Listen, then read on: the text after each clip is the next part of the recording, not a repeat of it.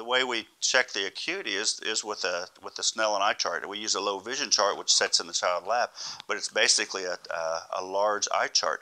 When you see the uh, when you when you measure a large letter on a, on a single page on a chart, they have one chance to get it right or wrong.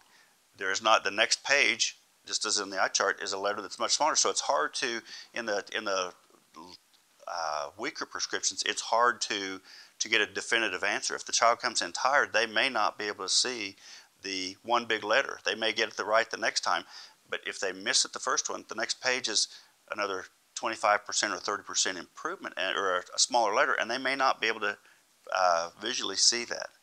And so it's there. The changes are small. That's uh, why why the, the longer term follow up becomes necessary because you can't you can't just look at it from day to day. You have to see the trend. You have to look at the trend and follow the history on it. The acuity is not the, the best test to, to look at the, the chart, the eye chart. What we look at is uh, the information on the MRI to make sure the diagnosis is correct. We look at the uh, optic nerve. We take a look at the, the retina and the optic nerve to make sure that it is truly the optic nerve hypoplasia or the SOD because it's that's the ones that we know have been treated successfully.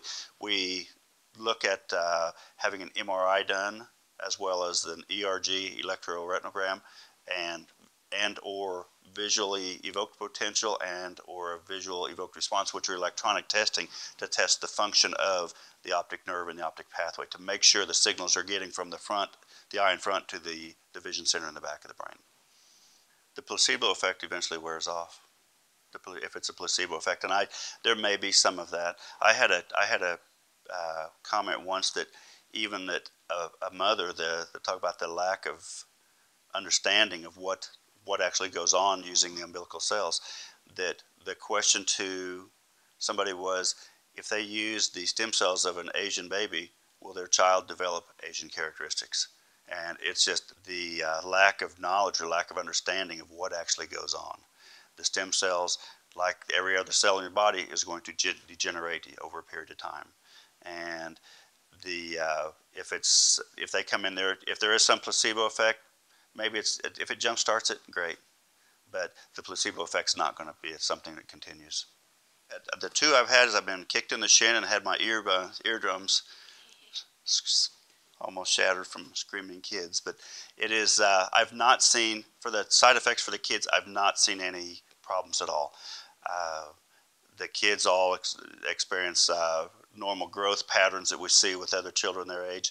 Uh, the health and everything seems to stay well within the normal limits. I don't see any side effects. It just all it does it's, it looks like a booster shot to help them along their path a little bit quicker. Medicine doesn't know everything. The doctors don't know everything. They know what they've read and they know what they've been trained. And this technology is new enough to probably a majority of them that that it is uh, they don't want to they don't want to take a step they want to they don't want to get out of the box and rather than uh, taking care of the child with the CP in the wheelchair or the the hypoplasia child in the wheelchair they tend to overlook and look for the easy way out and move on to the next person without devoting time. They're, the quality of life is the big thing. The quality of life. These people may never be able to sit down and read the, the want ads, but they they can do things that everybody else hasn't been enjoying and just overlooks. Be patient. Be patient with everybody around you. It is a new enough procedure that the doctors, the medical community does not fully embrace it. You will find people that are very negative, very skeptical about it. At best, skeptical. At worst, much worse than that. Families that mean well, but they they don't have the same interest as you would as a parent. And so if if they don't agree with you, don't take it too personally. Just just move on and do what you do what you think you need to be doing.